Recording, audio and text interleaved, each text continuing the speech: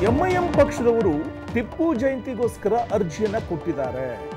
ಇದಕ್ಕೆ ನಾನು ವಿರೋಧಿಸುತ್ತೇನೆ. ಇದಕ್ಕೆ ಅವಕಾಶವನ್ನ ಮಾಡಿಕೊಡಬಾರದು. ಧಾರವಾಡದಲ್ಲಿ ಹೀಗಂತ ಶ್ರೀರಾಮ ಸೇನೆ ಮುಖ್ಯಸ್ಥ ಪ್ರಮೋದ್ ಮುತಾಲಿಕ್ ಹೇಳಿಕೆಯನ್ನು ಕೊಟ್ಟಿದ್ದಾರೆ. ಪಾಲಿಕೆಯವರು ಇದಕ್ಕೆ ಅವಕಾಶವನ್ನು ಮಾಡಿಕೊಡಬಾರದು ಅಂತ ಮನವಿ ಮಾಡ್ತೇನೆ. ಅಕಸ್ಮಾತ್ ಕೊಟ್ರೆ ಪ್ರತಿಭಟನೆ ಮಾಡುವ ಎಚ್ಚರಿಕೆಯನ್ನು ಕೊಡ್ತೇನೆ ಅನ್ನುವಂಥ ಮಾತನ್ನ ಹೇಳಿದ್ದಾರೆ. ಇಸ್ಲಾಂನಲ್ಲಿ ಅಲ್ಲಾ ಒಬ್ಬನೇ ಅಂತ ಖುರಾನ್ನಲ್ಲಿ ಹೇಳಲಾಗಿದೆ. ನೂರಕ್ಕೆ ತೊಂಬತ್ತರಷ್ಟು ಮುಸ್ಲಿಮರು ಇದನ್ನೇ ಪಾಲಿಸ್ತಾ ಬಂದಿದ್ದಾರೆ. ಒಬ್ಬ ವ್ಯಕ್ತಿಯ ವೈಭವೀಕರಣ ಮಾಡುವುದಕ್ಕೆ ಬಿಡೋದಿಲ್ಲ. ಇನ್ನೊಬ್ಬನ ಪೂಜೆ, ಆರಾಧನೆ ಪದ್ಧತಿ ಇಸ್ಲಾಂನಲ್ಲಿ ಇಲ್ಲ. ಎಂಐಎಂ ಎಫ್ ಐ ಕಿಡಿಗೇಡಿಗಳು ಈ ರೀತಿಯಾಗಿ ವಿನಾಕಾರಣ ಗೊಂದಲವನ್ನು ಸೃಷ್ಟಿಸುವ ಪ್ರಯತ್ನವನ್ನು ಮಾಡ್ತಾ ಇದ್ದಾರೆ. ದ್ವೇಷದ ಭಾವನೆಯಿಂದ ಇದನ್ನು ಮಾಡ್ತಾ ಇದ್ದಾರೆ. ವಿನಃ ಟಿಪ್ಪು ಜಯಂತಿ ಆಚರಣೆ ಸರಿಯಲ್ಲ. ಟಿಪ್ಪುಗೆ ಒಳ್ಳೆತನ ಇರಲಿಲ್ಲ. ಮತಾಂತರ ಮಾಡಿದ ವ್ಯಕ್ತಿ ಆತ ದೇವಸ್ಥಾನ ಕೆಡವಿದ ವ್ಯಕ್ತಿ ಆತ ಕೊಡಗಿನಲ್ಲಿ ಸಾವಿರಾರು ಜನರನ್ನು ಕೊಂದಿರುವಂಥ ವ್ಯಕ್ತಿಯವನು ಹಾಗೂ ಕನ್ನಡ ವಿರೋಧಿ. ಮತ್ತು ಇಂತಹ ವ್ಯಕ್ತಿಯ ಜಯಂತಿಯನ್ನು ಚನ್ನಮ್ಮ ಮೈದಾನದಲ್ಲಿ ಆಚರಣೆ ಮಾಡೋದಕ್ಕೆ ಬಿಡೋದಿಲ್ಲ.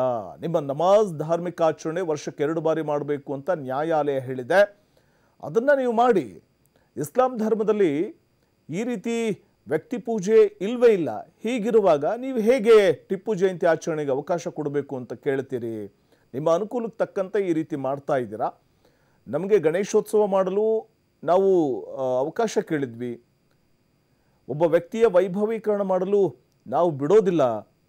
ನೀವಲ್ಲಿ ಟಿಪ್ಪು ಜಯಂತಿ ಮಾಡಿದ್ರೆ ನಾವು ಅಂಬೇಡ್ಕರ್ ಜಯಂತಿ ಮಾಡ್ತೇವೆ, ಛತ್ರಪತಿ ಶಿವಾಜಿ ಬಸವ ಜಯಂತಿ ಮಾಡ್ತೇವೆ. ಟಿಪ್ಪು ಜಯಂತಿ ಸಂಘರ್ಷಕ್ಕೆ ಕಾರಣ ಆಗುತ್ತೆ ಮುಂದಿನ ದಿನಗಳಲ್ಲಿ. ಅದಕ್ಕೆ ಯಾವುದೇ ಕಾರಣಕ್ಕೂ ಟಿಪ್ಪು ಜಯಂತಿ ಮಾಡೋದಕ್ಕೆ ಅವಕಾಶ ಮಾಡಿಕೊಡಬಾರ್ದು. ರಾಜಕೀಯ ಲಾಲಸೆಗೋಸ್ಕರ ಕಾಂಗ್ರೆಸ್ ಸರ್ಕಾರ ಟಿಪ್ಪು ಜಯಂತಿಯನ್ನು ಮಾಡ್ತು. ಆದರೆ ನಿಜವಾಗ್ಲೂ ಇಸ್ಲಾಂ ಧರ್ಮದಲ್ಲಿ ಅಲ್ಲಾ ಒಬ್ಬನೇ ಅಂತ ಇರುವಂಥದ್ದು. ಹೀಗಿರುವಾಗ ಟಿಪ್ಪು ಜಯಂತಿಯನ್ನು ಆಚರಣೆ ಮಾಡುವುದು ಅಥವಾ ಒಬ್ಬ ವ್ಯಕ್ತಿಯನ್ನು ಆಚರಣೆ ಮಾಡುವುದು ಎಷ್ಟು ಮಟ್ಟಿಗೆ ಸರಿ ಅಂತ ಈ ಸಂದರ್ಭದಲ್ಲಿ ಪ್ರಮೋದ್ ಮುತಾಲಿಕ್ ಪ್ರಶ್ನಿಸಿದ್ದಾರೆ.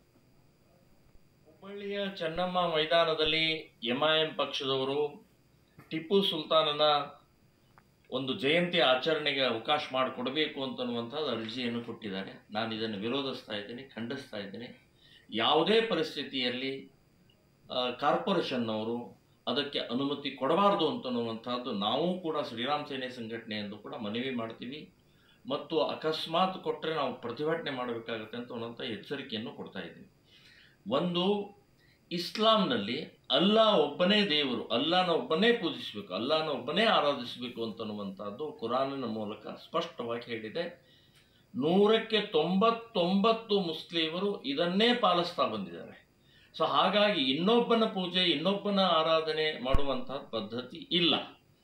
ಸೊ ಈ ಕಿಡಿಗೇಡಿಗಳು ಎಂ ಐ ಎಂ ಪಕ್ಷನವರು ಅಥವಾ S D P I, P F ಐನವರು ಈ ಕಿಡಿಗೇಡಿಗಳು ದ್ವೇಷದ ಭಾವನೆಯಿಂದ ಆ ಮಾಡ್ತಾ ಇರುವಂತಹ ಟಿಪ್ಪು ಜಯಂತಿ ಆಚರಣೆ ಈ ಇದು ನಾವು ವಿರೋಧ ಮಾಡ್ತಾ ಇದ್ದೀವಿ ಇದು ಸರಿಯಲ್ಲ ಅಂತನ್ನುವಂಥದ್ದು ಹೇಳ್ತಾ ಇದ್ದೀನಿ. ಮತ್ತು ಟಿಪ್ಪು ಯಾವುದೇ ಆ್ಯಂಗಲ್ನಲ್ಲಿ ನೋಡಿದರೂ ಕೂಡ ಯಾವುದೇ ಒಂದು ಒಳ್ಳೆಯತನ ಅಂತನ್ನುವಂಥದ್ದಿಲ್ಲ ಹಿಂದೂ ವಿರೋಧಿ ಮತಾಂಧ, ಮ, ಪಕ್ಷ ಇದು ನಮ್ಮ ಮತಾಂತರ ಮಾಡಿದಂಥ ಲಕ್ಷಾಂತರ ಜನ ಹಿಂದೂಗಳನ್ನು ಒತ್ತಾಯದಿಂದ ಮತಾಂತರ ಮಾಡಿದಂಥ ವ್ಯಕ್ತಿ, ದೇವಸ್ಥಾನಗಳನ್ನು ಹೊಡೆದಂಥ ವ್ಯಕ್ತಿ ಸಾವಿರಾರು ಜನರನ್ನು ಕೊಂದಂಥ ವ್ಯಕ್ತಿ, ಮೈಸೂರಿನ ಗೌರವವನ್ನು ಹಾಳು ಮಾಡಿದಂಥ ವ್ಯಕ್ತಿ, ಇಷ್ಟೆಲ್ಲ ಅಲ್ಲದೆ ಇನ್ನೂ ಒಂದು ಬಹಳ ದೊಡ್ಡಂದರೆ ಕನ್ನಡ ವಿರೋಧಿ ಈ ವ್ಯಕ್ತಿ ಸೊ ಅಂಥ ವ್ಯಕ್ತಿಯ ವೈಭವೀಕರಣ, ಜಯಂತಿಯನ್ನು ಚೆನ್ನಮ್ಮ ಮೈದಾನದಲ್ಲಿ ಯಾವುದೇ ಪರಿಸ್ಥಿತಿಯಲ್ಲಿ ಆಚರಣೆಗೆ ಅವಕಾಶ ಕೊಡೋದಿಲ್ಲ ಹುಬ್ಬಳ್ಳಿಯ ಚೆನ್ನಮ್ಮ ಮೈದಾನದಲ್ಲಿ ಎಂ ಐ ಎಂ ಪಕ್ಷದವರು, ಟಿಪ್ಪು ಸುಲ್ತಾನನ